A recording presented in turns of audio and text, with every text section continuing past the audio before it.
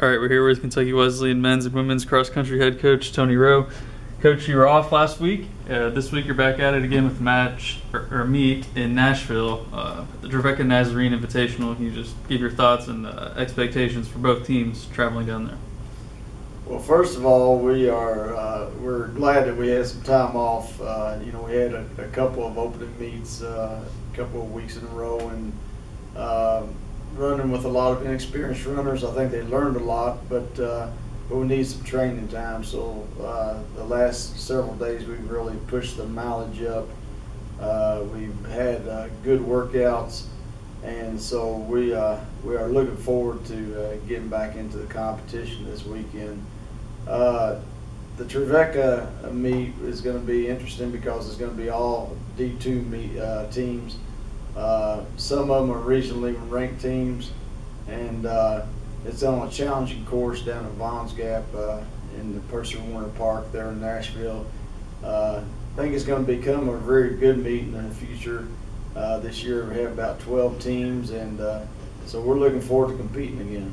Obviously, like I said before, you had the week off last week, and this week, of course, you have a, a meet. So you just discuss a little bit more about the the mindset and preparation ways you're trying to prepare uh, both teams as you know obviously a big meet coming up this weekend. Yeah. We uh, we've got to do a better job of, of staying uh, staying in the moment in races. We uh, uh, it's, as easy as a distance runner to you know 25 minutes 30 minutes of, comp, of uh, you know concentration for the guys and you know especially it's easy to kind of you know, think about the finish line and forget about racing at the moment you, that you're in. And so we've got to, we got to do a better job of that. We've got to do a better job of keeping our pack together.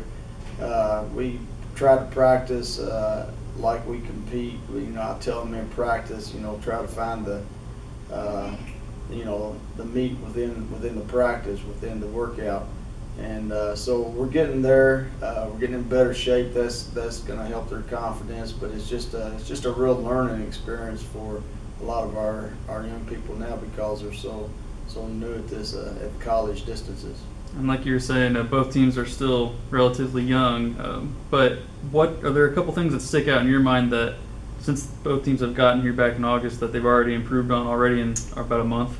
Well, we were so pleased with uh, with our freshman men. Uh, I think they're kind of paving the way for the team. Uh, but uh, what I've noticed um, this week, and uh, we do have a couple of injuries hurting us right now, and we need to get those guys back. They're veterans, but uh, but we got some some people that that are starting to run much better. They're coming back. Seth Applegate had a great workout this morning. I feel like he's going to race real well this this uh, this week, and we need guys like Seth uh, and uh, Logan Air to push it back up toward uh, the front of the pack. And, and, Logan certainly has been up there pretty close. He's been as high as our second man, I think, in meets. But uh, he, uh, you know, it, it's it's just a matter of again you know, getting some experience under the belts, and then the veterans pulling up and doing their job, and I think we'll be in pretty good shape. All right, Coach. Thank you for your time and good luck this weekend. Thank you.